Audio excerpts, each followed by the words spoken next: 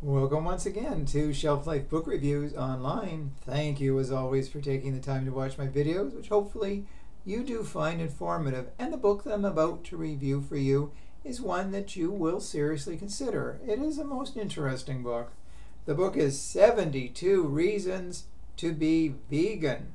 Why Plant-Based? Why Now? By Gene Stone and Kathy Freston. This is published by Workman and it retails for $19.95. Well, talk about a most fascinating book because it tells you 72 ways or reasons to be vegan. Uh, they almost, um, can't say it's like blackmail, but they almost shame you into wanting to be vegan, vegan, vegan. Some of the things they say are most interesting.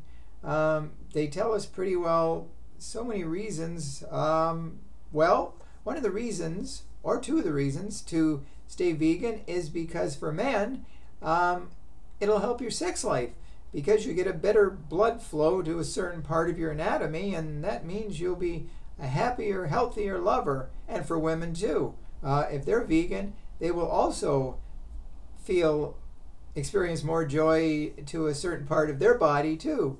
And they say basically it'll be great for personal stimulation and whatever. But anyways, uh, there are other reasons that they tell us to be vegan, and one of them is milk does a body bad. And they say dairy allergy symptoms include life-threatening anaphylaxis, wheezing, vomiting, hives, eczema, and digestive problems. Dairy allergies cannot be reversed, so they say it is best to shun dairy altogether. Another reason to be vegan. And um, you, you um, have to give the authors credit for definitely diving deeply into uh, the vegan lifestyle, which I'm not going to knock it. Uh, I'm, I, I know many who are vegan, uh, but some of the chapters they have are definitely ones that sort of make you go, hmm. Um, some of the reasons why we should go vegan are fish feel pain you will seriously have good poops. Chickens like to be cuddled. Pigs are smarter than a three-year-old child, and maybe former presidents, but uh, and also cows love classical music. All the more reasons to be vegan. Um, so we won't kill cows, we won't kill fish, we won't kill pigs, and everybody will live happily ever after, I guess.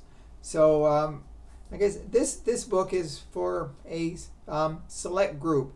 I doubt that too many people, after reading the book, are going to say, "I'm going vegan. I don't want to. I want to cuddle a cow."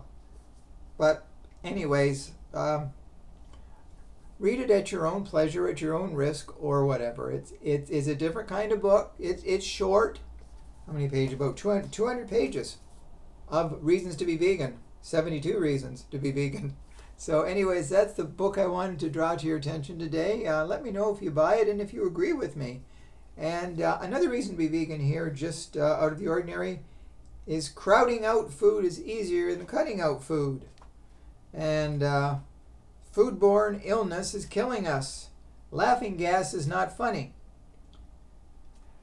The, wor oh, the world is becoming overrun with animal poop too. So anyways, um, so let let me know if you like if you like the book. I'm sorry. Uh, I don't usually laugh like that, but during a review. But so uh, you let me know if you like the review. So until we meet again, stay safe, stay sane, stay in touch, and I'll see you at the bookstore.